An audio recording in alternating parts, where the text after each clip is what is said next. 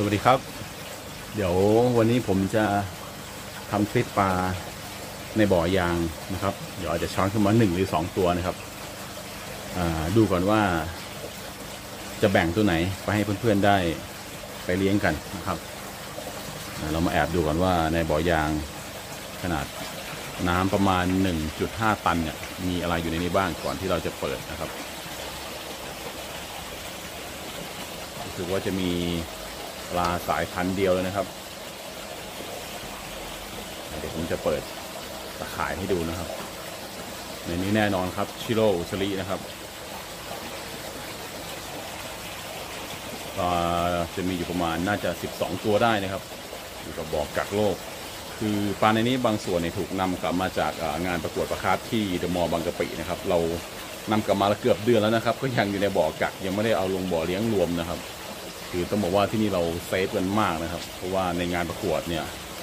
สิ่งหนึ่งเลยที่เราจะไปใช้อ,อุปกรณ์ภาชนะหลายอย่างร่วมกันกับเพื่อนๆที่ที่ไปงานเนี่ยนะครับ ก็ต้องบอกว่าพอนำปลากลับมาต้องเราต้องคลีนให้ดีที่สุดนะครับอันนี้ปลาของระยองโค้ยเนี่ยก็ยังไม่ได้นำลงไปรวมในบ่อเลี้ยงนะฮะเลี้ยงอยู่ในบ่อกักโลกอยู่นะครับ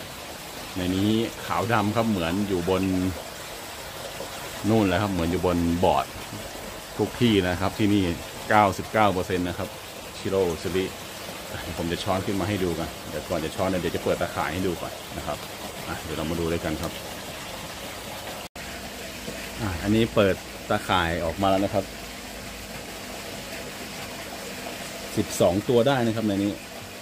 อาจจะมีที่ผมช้อนแยกออกมาใส่ใหม่น่าจะ สองตัวใส่ตอนที่ก่อนที่จะนำปลากลับมากักเนี่ยนะฮะแต่ตอนนี้คืออยู่รวมกันในบ่อนี้ยังไม่ได้นำลงบ่อเลี้ยงนะครับ น้ำจะมียาปฏิชีวนะอยู่นะครับเมื่อปลาเดินทางกลับมาเนี่ยผมจะแช่เกลือกับแช่ยาปฏิชีวนะให้เขานะครับ เนื่องจากว่าปลาแพ็คไปถุงมีหลายตัวนะครับ อาจจะมีการเบียดเสียดกระทบกระทั่งกันนะครับ อาจจะมีแผลนะครับเกลือและยาต่างๆนะครับมีทั้งแบบตัวแอนตี้แบคทีเรียนะครับรวมถึง ที่จะไปสมานเรื่องของแผลนะครับขณะเดินทางอาจจะมีบ้างนะครับเบียดกันอะไรต่างๆฉะนั้นเราจะยังไม่นำนำปลาลงไปรวมในบ่อเลี้ยงนะฮะเดี๋ยวผมจะช้อนขึ้นให้ดูนะครับสักสองสามตัวเนาะโอเคนะครับดูผิวของจริงกับอยู่ใต้น้ำนะฮะในใต้น้ำในน้ำอาจจะเหลืองหน่อยนะครับดูผิวของจริงกันนะอะดูปลาของพี่ทัวร์หน่อยเป็นยังไงกลับมาจากงานนะครับขออนุญาตนะพี่ทัวร์นะ ช้อนให้เพื่อนๆดูหน่อยนะครับ เพื่อนดูนะครับดูผิวพันธุ์นะครับ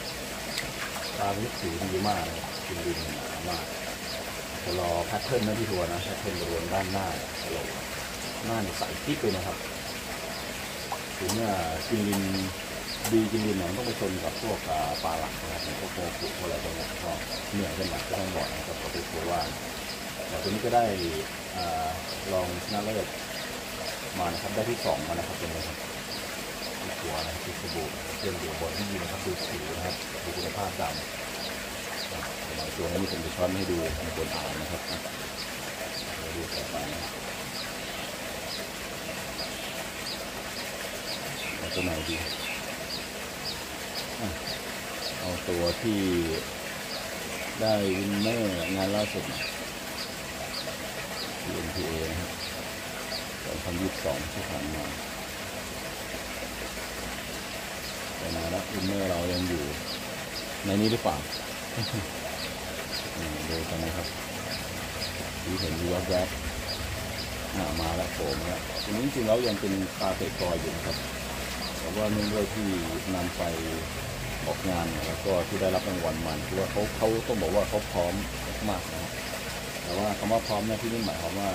ไม่ใช่ว่าดำสนิทแล้วนะครับ body หนาปึ๊กแล้วอะไรเงี้ยนะครับก็คือพร้อมในส่วนที่นักวันที่เขาเป็นอยู่ด้วย body เขาที่ต้องบอกว่าค่อนข้างสมส่วนภายในไซส์ที่เขายังยังยังยังไม่ full size นะตัวนี้มันสามสิบหนึ่งเซนนะครับเป็นส่วนตรงร่วมแข่งขันเนี่ยส่วนรุ่นสามสิบห้าดีอยู่นะครับเขาเขาแบกรุ่นค่อนข้างใหญ่เพื่อนดูนะครับเป็นปลาที่มีผิวพรรณขาวมากๆเลยนะ โครงสร้างเขาสมดุลแต่ว่าเขายังเล็กในไซส์นะครับเขาเขาไม่เต็มไซส์นะครับคุณภาพดำก็ประมาณสักน่าจะ 60%ได้ครับประมาณนี้เกิน50ไปเล็กน้อยนะครับคือเขายังไม่เต็มนะครับโมโตซ้ายกว่าสองข้างสวยงามกระโหลกสวยมากครับปลาตัวนี้ดูกระโหลกนะกระโหลกเขาเป็นลักษณะของของรูปตัวยูเลยครับตัวยูเป็นปั้นๆนะครับป็นปั้นมารับกับบอดี้นะครับบริเวณไหล่นะครับช่วงไหล่ ทางเป็นหนานะครับปลาตัวนี้ยังสามารถที่โตแล้วก็สวยขึ้นอีกเยอะนะครับ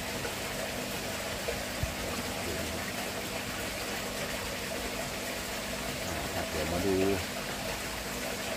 ตัวต่อไปนะฮะตัวต่อไป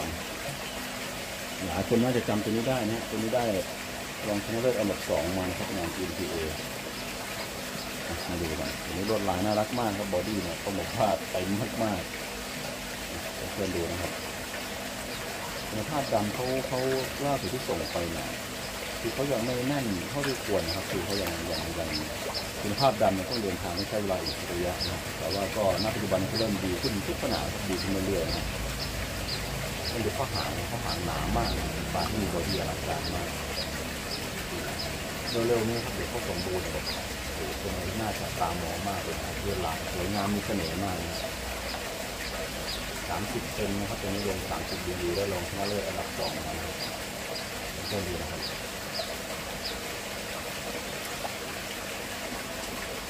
เอาตัวไหนเดี๋ยวที่จะยาวไป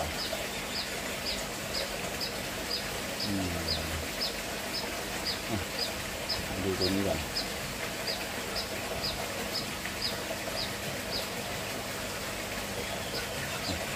ดูตัวแต่ละตัว นี้นะครับกำลังย้ายมาสู่บ่อฟันกับเพื่อนๆนะครับดูผิวนะครับดูนี่ผิวมีออร่ามากนะผิวแบบขาวขาวแป้งเลยนะครับหนามากนะครับขาวแบบขาวหนามากดำเนี่ยเริ่มเงาขึ้นทุกขนาดลำตัวในทรงยาวนะครับ ก็คือจะเป็นปลาที่ใหญ่ในอนาคตนะครับอันนี้จากแนวโน้มเนี่ยคือยังไม่ได้เช็คร้อยเปอร์เซ็นต์นะแต่แนวโน้มเนี่ยทั้งผิวทั้ง ลักษณะของเขาเนี่ยน่าจะเป็นปลาเพศเมียนะครับแต่ก็ยังไม่ฟันธงนะยังไม่ฟันธงนะครับยังยังไม่ชัวร์เป็นปลาเขายาวยาว แต่ว่าหลายเขาเขาเบ่งออกมาเริ่มเบ่งออกมาให้เห็นชัดๆแล้วแล้วเขาเป็นปลาที่น่าจะโตได้ดีก็ดูดูความเงาของดำนะครับดำมันเงานะครับเห็นไหมครับดีมากครับ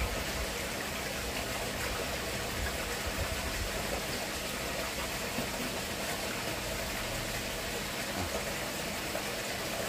เดี๋ยวมา ต่อกันครับเอาตัวไหนดีอืมมาตรงนี้นะครับตรงนี้โครงสร้างใช้ได้เลยทีเดียวครับเป็นฟ้าที่มีอัตราการโตดีตัวเพื่อนดูนะครับดูผิวนะครับ ทุกตัวครับที่เขาจะมาผิวดีทุกตัวแล้วบอดี้ก็สมส่วนนะครับดูดำเงามาก น่ารักอีกตัวนึงนะครับ ที่หัวเนี่ยจะเหมือนดำเยอะไปหน่อย แต่ก็มีขาวเปิดไว้ด้านขวานะครับนี่นะครับมันเงาครับดำมันแน่นอะมันมันลึกมากต้องเห็นดูครับขาวจั่วเลยนะครับ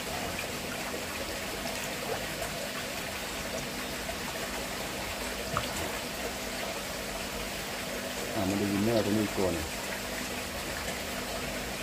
อันนี้ก็ winner งานล่าสุดนะครับ TNT ของเรานะ คือตอนเล็กๆเนี่ยดำบริเวณนี้บางบางมากครับ มีมีมีเอ่อขึ้นมาแบบรำไรนะครับ แต่ว่ามันมีอยู่บางเกล็ดนะครับสองสามเกล็ดที่มันเงาตั้งแต่เล็กเลยแต่นี้แล้วแล้วท้ายที่สุดเนี่ยก็ทำได้สำเร็จนะครับ ก็คือดำขึ้นมาจากจากหน้าบริเวณหน้าเพื่อนๆดูนะครับ แต่ตอนเล็กเนี่ยดำไม่มีเลยนะครับ คือผมมีเคยทำรูปเปรียบเทียบให้ดูอยู่นะครับดำจะไม่มีเลยแต่เล็กนะครับตอนนี้ขึ้นมาดำแล้วเงาคือเป็นเส้นแบบชัดเจนมากนะครับ ที่ตำแหน่งนะครับได้ขาวตัดกันผิวขาวดีมากนะครับอันนี้ก็สามสิบดียูนะเพื่อนดูนะครับดูความเงาครับเงาโตกำลังขึ้นอีกด้านหนึ่งด้านนึงขึ้นมาพอสมควรแล้วนะครับอันนี้ก็แนวโน้มน่าจะเป็นตัวเมียนะครับเองาม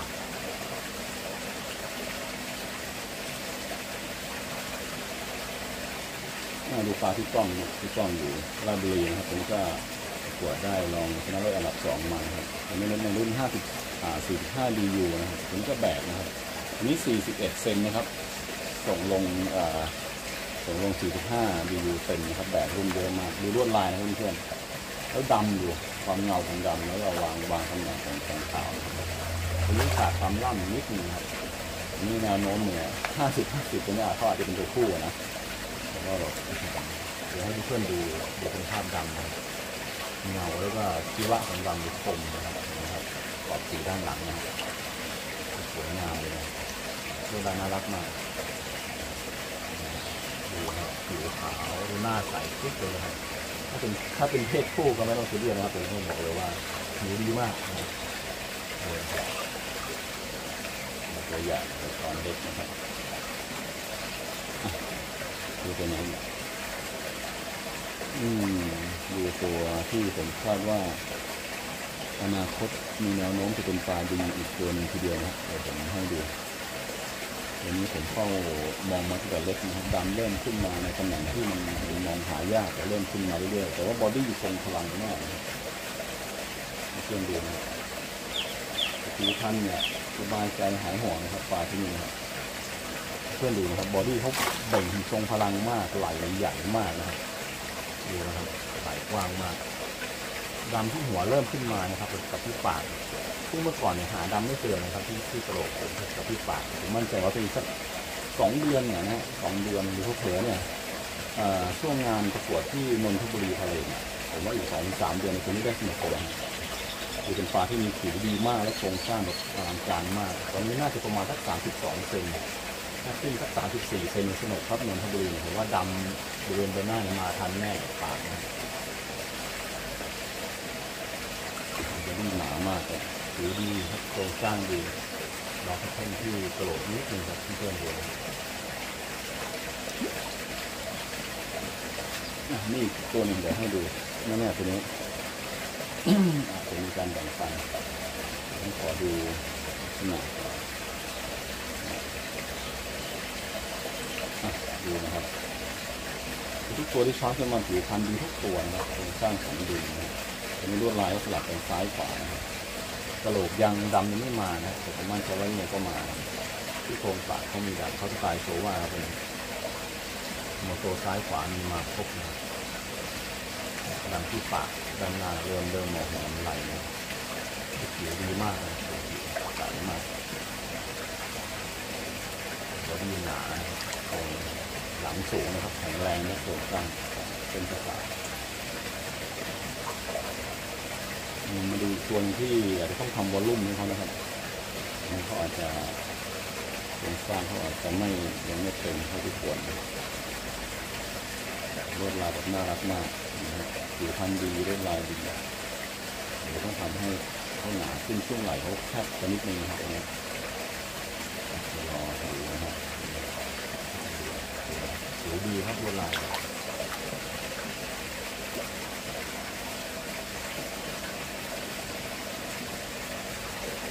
อืมเดี๋ยวให้ดูตัวไหนอยมีตัวนึงที่อะตัวนี้อากัน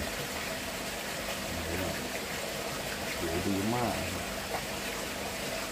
แล้วตอนนี้เล็กดำที่กระโหลกไม่มีเลยนะครับตอนนี้ดำที่หน้ายื่นขาขึ้นมาแล้วนะครับ เพื่อนเลยจะขึ้นมารับกับบริเวณไหล่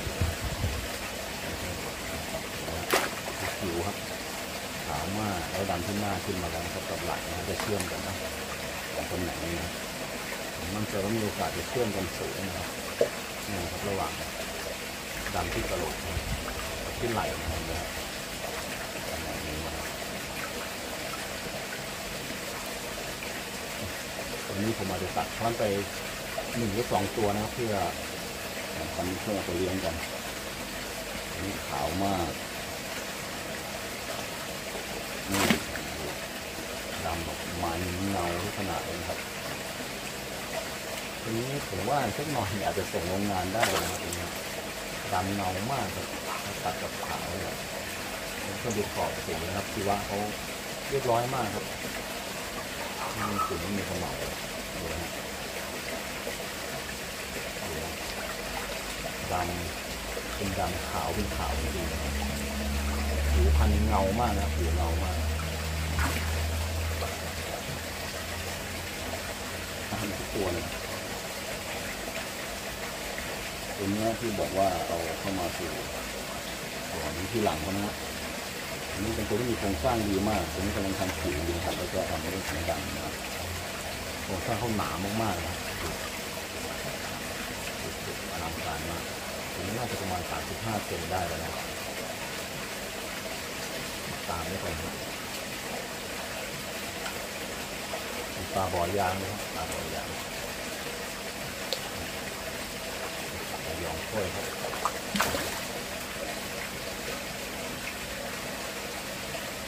ตัวนี้ตัวนึงตัวลายเป็นแบบจีดจาดมากดังขาหน้าทะแยงเป็นเสียงนะ นนี้ก็ได้รางวัลรองชนะเลิศอันดับหนึ่งนะรองรองชนะเลิศอันดับหนึ่งที่ได้ที่สองนะครับงานคุณถือตัวลายดูสีความใสเป็นมากคลิปเลย